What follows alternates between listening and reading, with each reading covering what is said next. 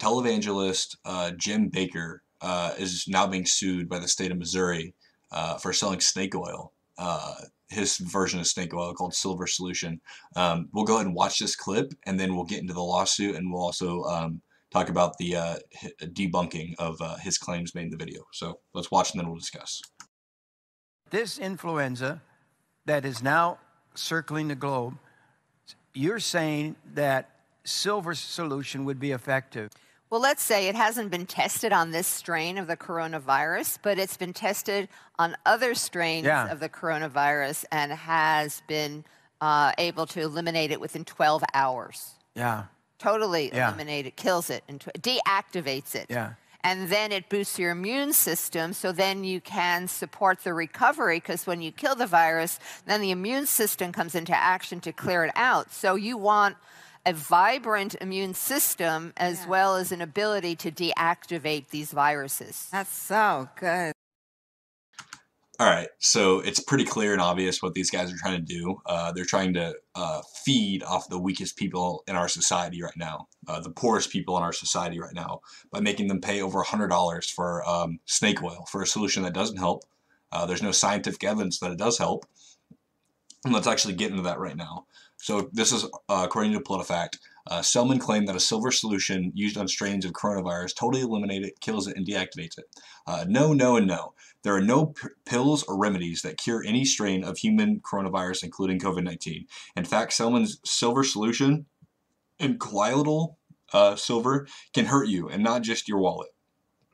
With that, we rank this claim of pants on fire.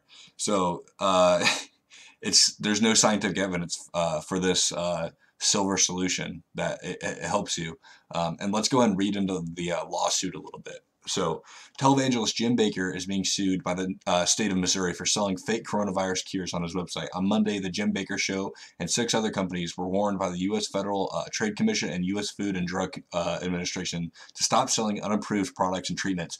Bakker's website offered uh, products like Silver Sol liquid that claimed to be able to diagnose or cure the coronavirus illness uh, COVID 19. In a letter to the Jim Bakker Show, the FDA said the products are in violation of the Federal Food, Drug, and Cosmetic Act.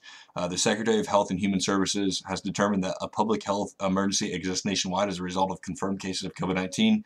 Therefore, FDA is taking urgent measures to protect consumers from certain products that, without approval or authorization of the FDA, claim to mitigate, prevent, treat, diagnose, or cure COVID in people, the agency wrote. So, uh, let's just go ahead and look at how. Uh, let's talk about how ridiculous that is. Um, that this guy who claims to be a child of God has this uh, network, this show uh, with I don't know how many people. I mean, presumably like a couple hundred thousand people, maybe. I don't know how many people exactly, but he's on here promoting this product, saying that it cures coronavirus. Now, I don't know the exact age range of the people that watch this show, but I'm assuming it's probably people who are like 50 plus at, at the least, probably more like 60 plus, 70 plus. The most vulnerable people in our society right now are watching this guy and getting their information from this guy. They're buying this product thinking that the product is going to make them immune to the virus somehow because of what this guy said. And then they get sick and die from COVID 19 because this jackass wants to peddle snake oil and make a few extra bucks in the name of God, apparently. I don't know about you, but that's disgusting to me. That absolutely disgusts me. The idea that this dude is selling snake oil. I mean, that's there's no other term to describe it. He's selling snake oil to people who are the most vulnerable. And if you don't see a problem with that, then we have a fundamental disagreement on uh, morals.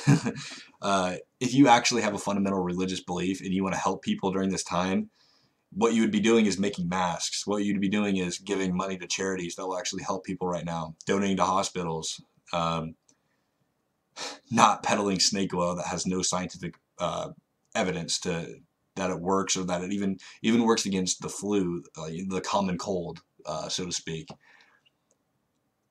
I don't know, guys. I don't know. There's just something disgusting about this video, uh, and I just wanted to share it with you. And this isn't. It's not just him doing this, uh, but I think he's the most prominent one, other than like Alex Jones, which I might make a video about that too. But the last video I made about Alex Jones, his supporters kind of kind of attacked me, so that was kind of funny. But uh, anyway, if you guys like the video, please like it. Uh, go and subscribe to my channel. We're on a road to 100 subscribers now. We actually passed 50 a few days ago. Uh, I haven't made a video in a few days, but thank you guys for watching.